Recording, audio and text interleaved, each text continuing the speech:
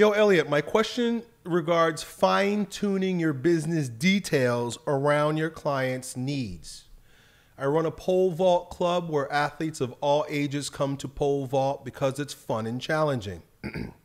As a seasoned athlete and strength coach, I can suggest different kinds of supplemental workouts which will be beneficial for each individual. Working only on technique will hinder their performance. However, nobody looks forward to sprints, pull ups, and jumping. My options are to be strict about mandating conditioning exercises or to give the people what they want when they come into my practice. Thank you for your time and wisdom. So it's a little bit of both, right? Uh, you got to tell people what they want to hear, but give them what they need. Have you ever heard that, right? This is analogous to, you know, my dog. I have to give my dog heartworm medicine, right? The dog doesn't want to eat the heartworm medicine. It tastes bad and probably, I don't know, makes him have like, you know, doggy tummy aches or something. I have no clue. My dog doesn't want the freaking medicine.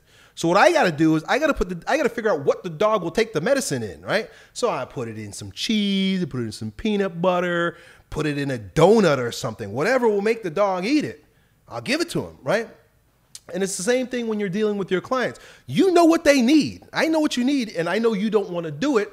Let's find a way I can sneak it in, right? So, for example, you give them workouts that they like, but you sneak in one of two things that they don't like, right? So, if you're doing a circuit, it's like, hey, I know you guys really love doing X, Y, and Z, and you hate doing A, B, and C. So, we're going to do X, Y, and A right? And they're like, oh, that sucks. But they're excited to do all the others, and then they got to take their medicine. Hey, it's time to take the medicine. At least I wrapped it up in something that you enjoy, right? Find ways to make things that suck enjoyable, right? And it could be the way you engage with them as a coach, right?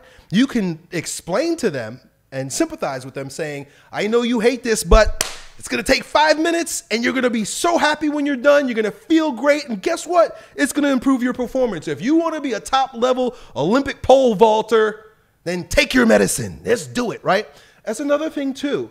Uh, and I know as coaches, sometimes we, the reason why we're coaches is probably because we know how to do what we have to do, whether we feel like it or not, right? So you were probably very good at pole vaulting because you knew, well, you know, I don't want to get up early and do these extra workouts but I want to be a great pole vaulter, so I'm going to do it.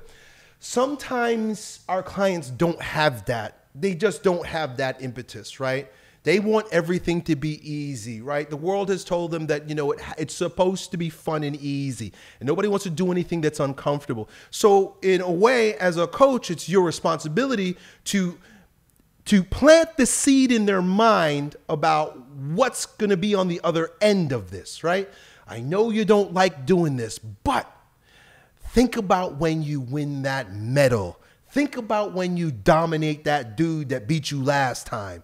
Think about, right? Imagine yourself, right? And get mad, right? And that's another way to get someone to push through in their exercises is by giving them emotion, right? Either aspirational emotion or uh, a negative emotion, like a moving away from, right? So, what do I mean by that, right? You're either moving towards something, and some people are very motivated to move towards th- something. That's a rare type of person. Most people are motivated to move away from something, right? More people are are interested. It's easier for people to move away from a pain than towards a pleasure, right? This is why people are depressed. It's like eh, you're not you're not willing to get off the couch because it's it's uncomfortable but unless there is, you know, uh, if there's something, there's some reason to get off the couch, it won't get them off the couch. But if their doctor says you're gonna die because you're so fat and lazy, then they'll, uh, uh, begrudgingly, right? So you can use that with your clients. Hey, do you remember last year when that kid from the previous university whooped your butt and you could have won? Remember that? Let that sink in. Don't ever forget that, right? And you remind them, right? You kind of poke and prod them a little bit. Hey, you remember when you lost last year? That was totally unnecessary. You did not need to lose. The reason why you lost is because you didn't want to do this workout. Are you going to be satisfied with that again this year? Are you going to be okay with losing again because you feel lazy in this moment? Can you not set aside momentary momentary pleasure for long term? Right? Momentary, I'm sorry, momentary pain for long-term pleasure, right? This is this is this is tough for people. But it's your job as a coach to remind them of that, right?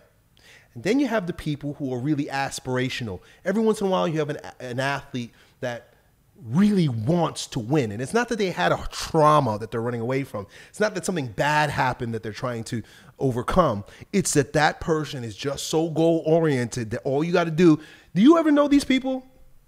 You don't have to, as long as you tell them this is good for you, it's going to help you win, they'll do it. You could tell them, hey, uh, eat this cow manure. Yeah, cow manure's got all kinds of probiotics in it. It's good for your gut. It's going to help the food that you eat digest. And because cows only eat grass, it's going to, you know, you can make up whatever BS you want. And they'll be like, oh, well, that's going to help me win, I'll do it. I'll do it, whatever it takes, right? Those, I mean, it's a double-edged sword, but those are those are great clients to have, right? They'll do anything you tell them, and if you have their best interest in mind, they're going to do it. So, once again, kind of just coming full circle, uh, with your clients that struggle, you got to give them you got to give them a spoonful of sugar to make the medicine go down.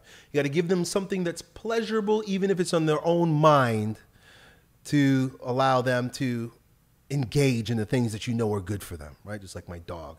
And if you really got to push them, remind them how bad it sucks to be a loser, and then maybe they'll get off their butt and go. And sometimes clients are just no good, right? I mean, sometimes you got to fire clients. It's like, I can't get through to this kid. I can't get through to this person. I don't know what it is. What do you need? What can I tell you to get you off your butt and want to do these things, right? You don't have to want to do. Here's another thing, too.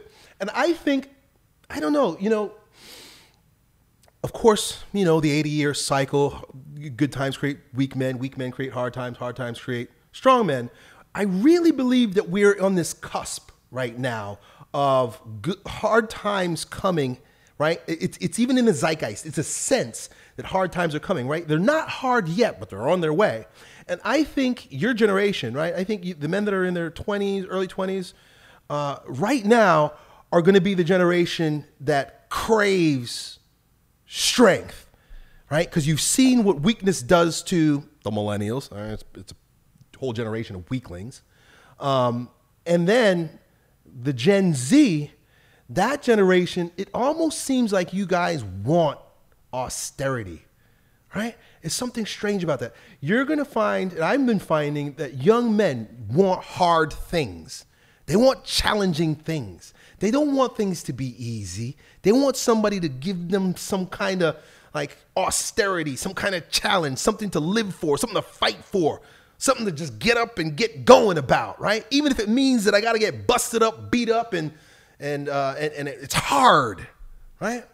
I know I crave that. I've always craved that, right? Sometimes I eschew life. I hate my life because it's so easy. It makes me sick, right? And you know, I'm not. I'm, I'm a bit of a masochist, to be honest with you and this whole idea that you know collapse is coming and that, that the apocalypse is on its way and doomsday and people are going to starve and it's going to be hard man a part of me is like yeah that's right right and that's going to get rid of a lot of weaklings right and that's going to allow those who really have that fire on the inside that strength that has been laying dormant to rise up rise up and come up and be strong men where we've only been weak.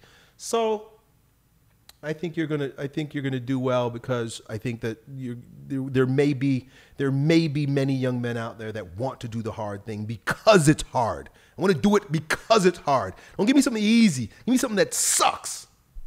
Because you know what that does to your soul. Makes you stronger, dude. So I hope that helps. Done. Yo, it's your bro Elliott. I hope you enjoyed that video. If you did, you ought to know that it was a clip from one of my most recent King Transformation classes with my students, where, among other things, we get together about four or five hours a week and we speak on things as it relates to becoming kings in our lives in fitness, business, and with women. If that sounds like you and you want to join a like minded group of men who are growing stronger every day, in every way in this degenerate age, then it's real simple. Just follow me on Instagram and then DM me the word King, K I N G, and then me and my team will get back to the details to see if you qualify. I really hope to see you at the next meeting. Done.